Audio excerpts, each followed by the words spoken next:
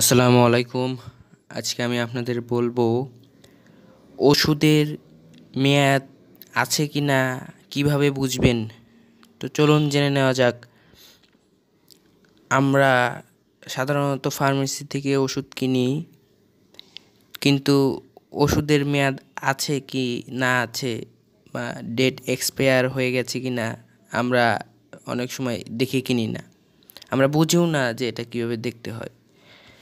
তো আমি বলে দিচ্ছি কীভাবে দেখবেন আপনারা যে ওষুধের খাপের উপরে বা নিচে ইংরেজি অক্ষরের কয়েকটি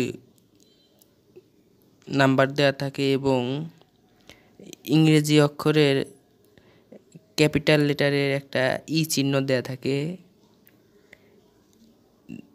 ধরেন কিছু অক্ষর দেওয়া আছে, এই প্রথম দুইটা বা তিনটা অক্ষর হবে ওষুধের কোড নাম্বার আর ই ক্যাপিটাল অক্ষরে দেওয়া আছে। ইতে এক্সপায়ার বোঝানো হয়। এবং ই এর পরের দ্বিতীয় সংখ্যা মানে দুইটা সংখ্যা, এগুলো হলো মাস নির্দেশ করে এবং পরের দুইটা সংখ্যা বছর নির্দেশ করে।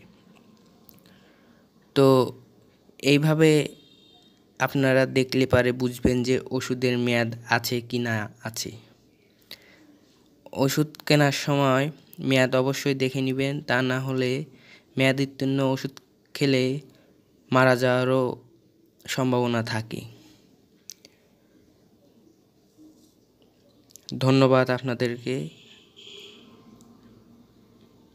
আমার এই ভিডিওটি যদি ভালো লেগে থাকে তাহলে লাইক, কমেন্ট, শেয়ার এবং সাবস্ক্রাইব বাড়াতে সাহায্য করবেন এবং আমার পাশে থাকবেন।